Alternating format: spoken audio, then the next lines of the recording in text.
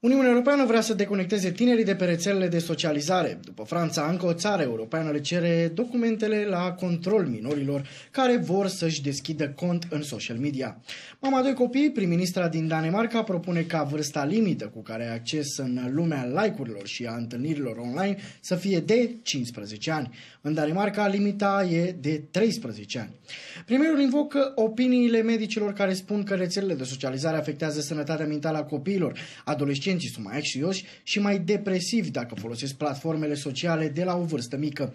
E argumentul șefei guvernului din Danemarca. 60% dintre tineri între 9 și 15 ani din Europa au profiluri de rețelele de socializare, arată ultimul studiu al cercetătorilor europeni.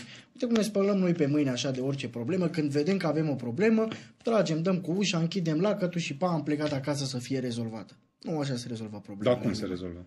Nemo, aici uh, sunt mai multe lucruri. Dacă, hai să o luăm step by step. Da? Ți-am vorbit la început despre marile frici, uh, frici pe care le avem atunci când vine vorba de social media și marile probleme la care ar putea ajunge copiii noștri. Cred că treaba asta ar trebui să stea în primul rând în mâna platformelor de socializare care ar trebui să gestioneze mai bine conținutul. De ce să interzică, de ce să vină un guvern să interzică cu totul platforma de socializare, când ar putea să vină producătorul acela, da, dezvoltatorul, să zică acest tip de conținut nu are ce căuta la copii mai mici de 10 ani, la copii mai mici de 15 ani și așa mai departe. Și ai rezolvat o problemă. Faci un, med, un mediu friendly în care uh, adolescenții se pot strânge. Pentru că vrei, nu vrei, ăsta e viitorul. Ei deja se strâng acolo, ei deja au comunitățile lor de prieteni acolo, au grupuri uh, de la liceu, grupuri cu colegii, poate chiar grupuri cu profesorii pe care mai primește teme și îți mai fac și lucrurile, uh, treburile lor de zi cu zi. Viața lor e acolo, nu poți să-i dai afară. Dar de ce să nu ne limităm la aplicațiile de tip Messenger? Da? Messenger, fie că e vorba de uh, Messengerul de la Facebook sau fie că e vorba de WhatsApp sau orice alt Messenger. Da? Uh, de ce să nu ne limităm la asta? Pentru că, într-adevăr, au grupulețe, au grupulețe din asta, dar pot să discute, să-și trimite mesaje, uh, da, să facă chiar, exact cum spui tu, grupulețe. Uh, cum facem să-i ferim uh, în schimb de toate provocările alea care apar pe tot felul de rețele? Am tot discutat, uh, inclusiv provocări de tip suicid, da, copii care își țineau respirația, care erau puși să facă tot felul de trăznăi, din provocări de genul ăsta, au ajuns la, la sinucideri copiii. Cum să-i ferești de chestia asta altfel? spune și mie. Eu nu știu o altă soluție. Ca părinte, Bă, nu ca poți părinte. să fii 24 de ore din 24, 60 de minute, da, din 60, ba, 60. Dacă ai vrea, dacă ai vrea, ai putea să fii Nemoș și ai putea să folosești tocmai tehnologia în avantajul tău ca să ajungi în, în punctul ăsta, da? Știm bine că majoritatea telefonelor chiar toate aș putea să spun, vin cu o funcție de control parental, atât telefoanele de la Android cât și telefoanele de la iOS. Funcții în care poți să intri să efectiv să-i oprești accesul dacă vrei la Instagram, tu cu mânuța ta, da? Să spunem că îl lași pe copil să stea pe Instagram, pe Facebook, pe X, pe orice vrei tu, două ore pe zi pe toate. Mădălin, Îi pui acest ziua, timing. Iartă-mă că te întreb, dar copiii din ziua de, de astăzi sunt mult mai inventivi decât noi înșine pe vremea când eram copii. Da? Noi înșine nu aveam acces la, la astfel de, de aplicații, la astfel de rețele, nu-i așa? Uh, tu ești mai mic decât mine, nici măcar tu, la vârsta ta, nu ai avut acces pe vremea când erai copil, la 5 ani, nu aveai acces la, la, la astfel de tehnologii, nu-i așa? La astfel de rețele. Și Părinții de multe ori nu știu să reacționeze în situații de genul ăsta. Sunt foarte mulți care nu știu, da? Unul la mână, doi la mână, nu pot să fie să-i supravegheze pe, pe copii, cum spuneam, în fiecare secundă, din fiecare oră a unei zile. N-ai cum să fie aproape. Și sunt foarte inventivi, învață să păcălească în ghilimele sistemele, știu să pândească, da? să, să, să citească o parolă și așa mai departe. Sunt mult mai inventivi decât noi. Nu. Și te și faci? Cum găseam, deoparte? Și eu găseam, uh, și eu găseam când eram mic uh, uh, idei ingenioase ca să ies din casă când mama nu mă lăsa să ies okay. din casă. Asta nu însemna că mama s-a dat vreodată bătută. De fapt, despre asta e vorba, da? Nici părinții din ziua de astăzi n-ar trebui să dea bătut. Ok, nu poți să-l controlezi 24, 24 de ore, dar ai ustensilele astea la îndemână, pune mâna și folosește-le. Eu spun că din grupul meu de prieteni care au uh, copii, foarte puțin le folosesc. Am doar doi prieteni mă, care dar nu înțeleg ce te irită atât de tare. O mașină poți să o conduci până la vârsta de 18 ani? Nu, nu poți să o conduci. Nu, pentru că ești un pericol pentru ceilalți participați ai traficului și pentru tine însuți. Da? Dacă rețelele astea sociale au suficient de multe provocări care să le amenințe viața, integritatea, da? personalitatea copiilor, da? sau să-i facă victime ale, cum spunea, bullying-ului, furtului de date și așa mai departe, păi atunci o interzici, că altă cale nu există. Nu văd altă soluție. Și asta propun acum danezii, dar o propun chiar la nivel de Uniunea Europeană. Deci foarte curând am putea să ajungem și noi pe lista asta, da? să, să fim nevoiți parlamentarii români să dea legi în sensul ăsta.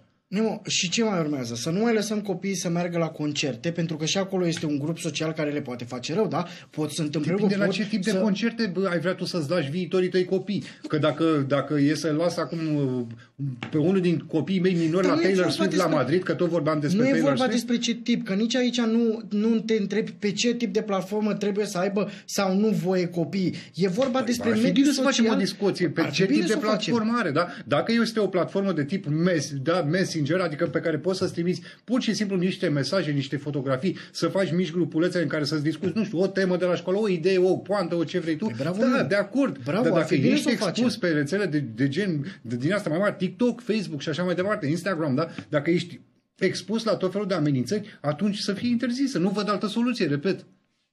Bă da, ți-am spus care e soluția. Să avem grijă la conținut, să curățăm conținutul, să obligăm platformele de social media să curețe conținutul și să aibă grijă ele în ce grupuri ajung minorii și așa mai departe, mai ales că uh, vine acum, da, și cum propune Danemarca, se vor conecta cu un buletin. Nu mai pot feri acea, uh, acea uh, vârstă, da, să spună, domnule, eu am 20 de ani, îți cer o poză, îmi trimis buletinul, văd exact ce vârstă ai. Și atunci, eu știind exact ce tip de, con- de cont ai tu, pentru că tu ai un cont de minor, uh, pot păi să... Păi, după ce vorbeam că softurile astea de multe ori mai fac și confuzii, știi, dacă, dacă, dacă datele biometrice corespund cu ale unui infractor din întâmplare sau cu unui personaj care e minor și iar tu ai o față așa mai de copil. Ce te faci? Se schimbă fizionomia în timp, Nem. nu e așa? Se schimbă fizionomia în timp. Ai 15 ani, încă n-ai fața aia de matur să, să poți să păcălești. Ai, ne-auzi expresia asta babyface killer, nu e așa? Bun, hai să mergem la, la Ștefan, pentru că tot în ideea asta, copii contra părinți sau să ajungem la părinți da, mai dulcește așa, hai să nu discutăm așa tot la modul ăsta, nu cu Ștefan. Nu, hai să discutăm dulce. Ștefan, sunt multe campanii de marketing care încearcă prin copii să ajungă la părinți diverse publicități, puțin animate, puțin făcute drăgălașe. Eu mi-amintesc de, despre un o campanie publicitară a unui constructor de mașini francez, nu vreau să-i dau numele că aș face publicitate în momentul ăsta, dar uh, la un moment dat le scăzuseră vânzările. Cred că era prin anii, se întâmpla situația asta prin anii 90, dacă mi amintesc eu foarte bine. E un studiu pe care l-am citit prin anii 2000 uh, și ce s-au gândit uh, producătorii francezi de mașini? Domne, nu ne cumpără, voiau să vândă un model de mașină de familie și au zis, uh, hai să încercăm să adresăm uh, campania asta copiilor, pentru că ei la rândul lor s-ar putea să-i convingă pe părinți, da? Și evident copiii vin și cu mai multă emoție. Cât de corecte sunt astfel de campanii sau uh, cât de inspirate, ca să zic așa, mai degrabă? Oh, câte cuvinte grele ai pus aici pe masă, inspirate, corecte și așa mai departe. Cred că sunt, uh, cred că sunt mai multe layer în discuția asta. Primul dintre ele este cel legal. Uh, nu prea e voie să faci campanii dedicate copiilor, nici măcar în România. Adică există o legislație destul de aplică mai ales pentru bunul ăsta de, de, de folosință imediată, cum nu știu, sucurile, mm-hmm. ciocolatele mm-hmm. și așa mai departe. Deci, nici cumva, măcar pentru jucării. Nici măcar pentru jucării. E destul de, de bine reglementată povestea asta. Deci, din bifa, cum controlez legislația este o bifă importantă. Pe de altă parte, a pune centura asta de castitate digitală, cum vrea să facă premierul Danemarcei, Cred că e ceva care nu se va putea realiza. Pentru că știm din toate mediile de comunicare care au evoluat de de-a lungul timpului că ele își vor găsi tot timpul penetrare. Când a apărut radio uh, lumea a spus că o să vină OZN-urile pe pământ și o să ne omoare. Când a apărut TV-ul, în primul rând că trebuia să moară radio și mm-hmm. TV-ul o să ne facă nebuni pe toți, că o să, da, trăiește bine, ca să da, trăiește bine, mersi. Iar acum avem digitalul.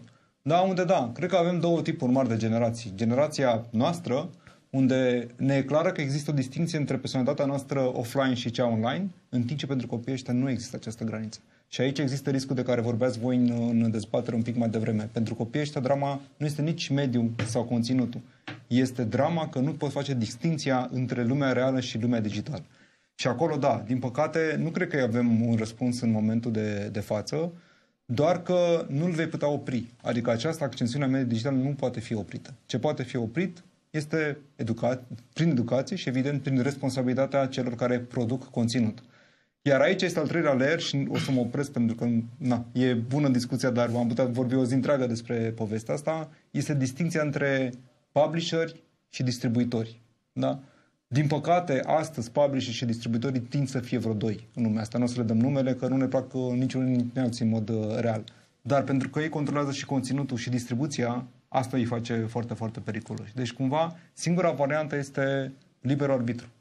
Și cred că asta se poate duca mai degrabă în lumea offline. Când ai liberul arbitru, când poți să gândești, când poți să compari și să spui da sau nu, este probabil cea mai mare valută pe care o să avem în viitor. Eu cred că luxul viitorului va fi offline. Oamenii care își vor permite să fie offline vor fi oamenii cei mai bogați. Oh, oh, bine zis. Eu aș merge la bară să mă distrez un pic ca de la părinte la părinte, ca să nu zic de la tătic la tătic, pentru că l-am folosit în sens peiorativ. Bară, și hai să nu discutăm serios despre, team, despre treaba asta. Altceva aș vrea să te întreb. Spune-mi și mie cât de agasante ți se par ție grupurile de părinți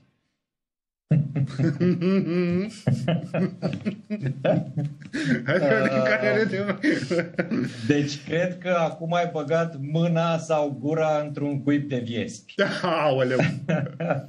da, deci um, Mădălin deocamdată are noroc că nu participă la ședințe cu părinții la școle, la școală, nu are tot felul de grupuri de părinți uh, în care trebuie să intre și să-și uh, schimbe, să discute diferite opinii, care mai de care mai bazate și mai înțelepte. Uh, merită, nu știu, uh, trebuie să, să-ți protejezi psihicul, la fel cum trebuie să protejezi psihicul uh, copilului de smartphone-uri. Eu aș zice că până la 14 ani copilul nu are ce căuta cu smartphone în mână. Poți să-i dai un telefon stupid phone, ăla care poate doar să trimită și să primească SMS-uri și să dea telefon. Altfel, până la 14 ani copilul nu are nevoie de smartphone. Uh, și până la 18 ani sau mai degrabă 16, hai, Uh, să n-are, n-are nevoie să aibă acces la rețele sociale. Ei știu că e foarte greu de, de uh, controlat acest lucru, dar uh, în fine, fiecare cum poate. Dar uh, da, părinții pot fi foarte agasanți, uh, sunt tot felul de tipologii de părinți, uh, ăștia care le știu pe toate, da? Pe tine asta e, asta e tipologia care te enervează cel mai tare.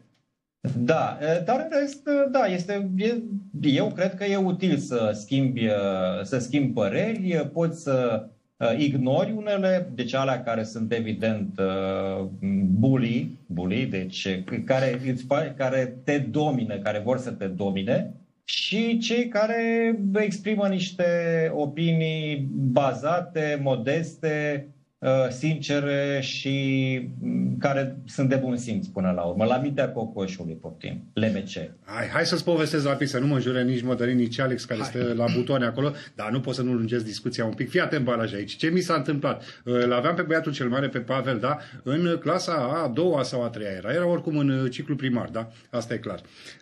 Și la un moment dat se strică imprimanta la școală. Iar unul din... Și ca să zic, apropo, înainte de a spune povestea, care e părintele care mă... tipologia de de părinte care mă enervează, ăla cu inițiativă, ăla foarte drăguț și foarte săritor, da? Și vine un părinte cu inițiativă și ce ne propune, știi? Haideți să cumpărăm toată clasa o imprimantă, da? Pentru, pentru copiii noștri. Dar ce fel de imprimantă era? Găsise una foarte dichisită, da? Cu mail, cu fax, cu tot ce trebuia pe acolo, o imprima și color, da? Nu era decât un turn din ăla pe care mulți dintre colegii noștri nu știu să-l folosească nici ca adulți, dar aminte să folosească un învățător cu vieții copii copii. Era imprimată de vreo 1500 de euro, ca să vă dați seama, dar despre asta era vorba. Adică nu, am rămas, am rămas mult, n-am știut cum să reacționez, efectiv, dar ce fac copiii, ce face învățătoarea cu astfel de imprimantă? Trebuie să-i dăm manual de utilizare. Uh, prin, Printează testele PISA. Da, plus